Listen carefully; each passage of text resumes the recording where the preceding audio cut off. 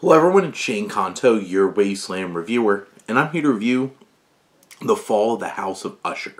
And this is Mike Flanagan's most recent mini-series that came to Netflix from adapting a series of Edgar Allan Poe stories as we focus on Roderick Usher and his family who run this very famous, very wealthy, controversial company and all of his kids begin to die. And we go through this process of figuring out exactly what's going on.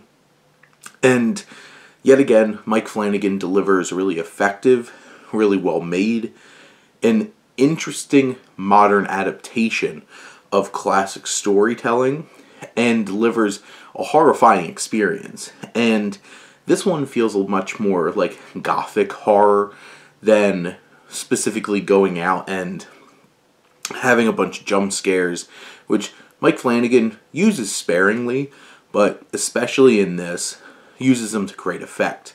Mike Flanagan's biggest asset as a director is his ability to use deep focus, and the framing device of this series is Bruce Greenwood, who plays Roderick Usher, being basically coming clean to his antagonist, his foil in this series, played by Carl Lumbly, who's a detective.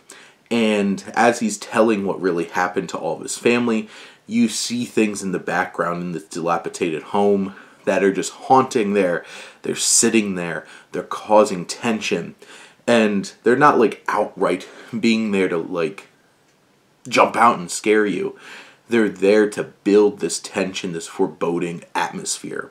And that's what Mike Flanagan does so well. And he delivers on that from a scares perspective, from that perspective on this film. I think the framing device is an interesting thing. It has a really creepy atmosphere with this dilapidated childhood home Bruce Greenwood is fantastic in this series, really anchoring everything that's going on, and Carl Lumbly is fantastic as well.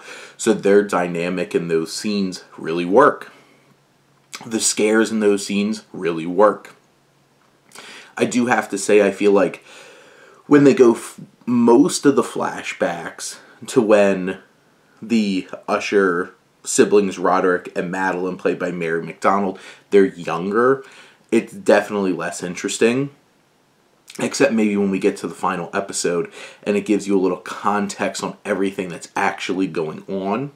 I think the real standout in this series is Carla Gugino, who I think is fantastic. She really gets to shine in these Mike Flanagan projects and she is she is creepy, she's unnerving, she's ever present and charming and kind of seductive on screen. And this entity that she's portraying really works in this series. I do have to say, a lot of the like adult children in this family are certainly not the most likable people, but each of these episodes tell a really interesting reimagining of a Poe story and I really appreciate how Mike Flanagan has updated it, modernized it, and made it fit into the context of the series. Henry Thomas is great. Rahul Kohli, Samantha Sloyan, T'Nia Miller. Uh, of course, Kate Siegel, who is Mike Flanagan's partner. And you have all of these performances. I think the real heart, though, is Lenore, the granddaughter played by Kyliegh Curran, who was in Doctor Sleep. I think her presence here adds so much depth and empathy to the proceedings because, like I mentioned, you don't really care so much about the other kids, but I do feel like this show does lean on a lot of trying to explain a bunch of exposition and stuff like that, but overall is still unnerving, creates a great atmosphere and Flanagan really understands how to create these scary scenarios. And even a special shout out to who I didn't mention, Mark Hamill, who plays like the family fixer and lawyer. He's just fits so creepily into this story. But overall, this is a really well acted, haunting, and unnerving experience with some interesting modern takes on Poe stories. It's not my favorite of Flanagan's miniseries, but it's definitely up there. I think this works on a lot of different levels. But those are my thoughts on The Fall of the House of Usher. Let me know what you think. Let's talk some TV. But thank you as always for tuning in and supporting your Wasteland Reviewer.